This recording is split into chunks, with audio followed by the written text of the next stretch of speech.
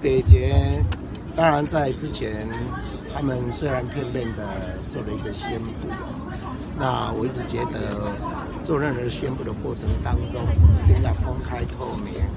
因为双北大家都是一个共同的生活圈，那捷运跟交通之间的连接上。呃，如果用什么样的数据把它算出来，啊，对社会的冲击面，以及对弱势的如何来加强照顾，其实我们更应该清楚的来跟双北市民来做一个报告。我有于，呃，会支持柯市长，只要我们用专业跟专业之间，大家把话讲清楚，其实这个都是好事，啊，这样对双北市民都是好事的事情。我跟柯市长两个都是支持的，所以我其实我跟柯市长大家都是好朋友。所以都没有这个问题。那科长也非常有诚意，他说今天早上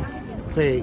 请他们的捷运局跟交通局，我们的交通局共同来做一个讨论，来对外来做我们宣布。我要在这里谢谢柯市长，在第一个时间非常的诚恳，非常用专业的态度，